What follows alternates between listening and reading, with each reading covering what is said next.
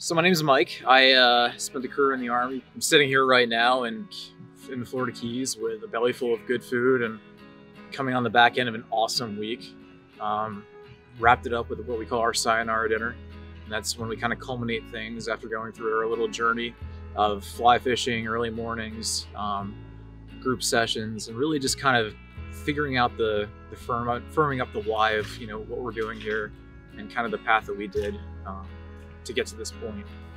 Going through the journey of, you know, going out to Bozeman, spending a week there with the, the WQW family and really becoming a part of that, and then continuing that journey, going through virtual sessions, multiple one-on-one sessions, and doing that self-exploration to really kind of find that purpose. You know, who am I? Where am I going? And how am I getting there? We all kind of share that similar challenge where we get out of the military, we hang the uniform up, and then it's that what's next? Who am I? what am I driving toward? You know, for some of us, that's being a parent, that's being a friend.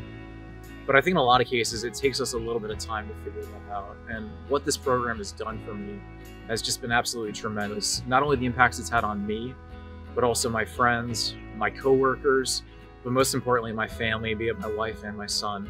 And I can sit here right now saying that I go back, I'm going back with a full tank, ready to get back after those purpose things. And the journey isn't ending here honestly, for me, it's just beginning.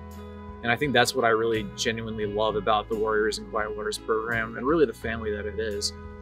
It's something that you continue to live. It's not just to go in for a weekend, do your veteran thing, and go home and go off on your merry way, or show up, get the t shirt, act like you did a, little, a few things for it, and then, you know, same thing. It's okay, what can I do next? What am I striving toward beyond this? And how can I keep giving back and becoming that person that I feel like I was meant to become, just didn't really know it.